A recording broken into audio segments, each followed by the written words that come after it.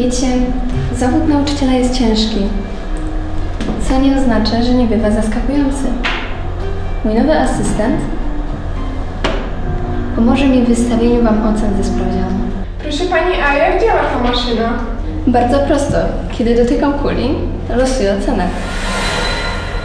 A co jeśli ktoś napisał ten sprawdzian wzorowo? Cóż, ma pecha. To jest liceum, nie podstawówka kochana. Gotowi w takim razie?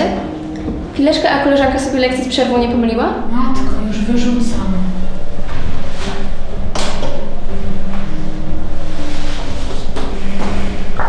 Od razu lepiej. W takim razie na pierwszy rzut Ania.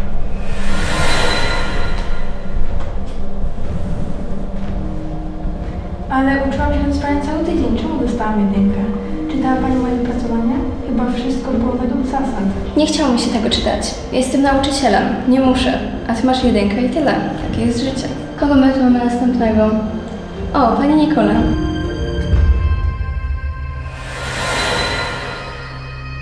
O, tego się nie spodziewałam. Tym razem masz szczęście, Nowakowska. I Matwiutka, tak to się robi. To niesprawiedliwe. Ona dostała piątkę. Dlaczego nie ocenia pani umiejętności, tylko robi sobie żarty? Jestem nauczycielem, mogę robić z waszymi ocenami co tylko chcę.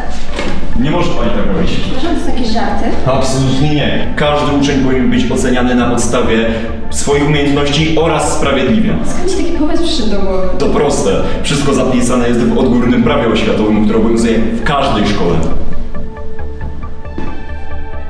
To, jak i inne prawa, poznałem na zajęciach z wiedzy o społeczeństwa.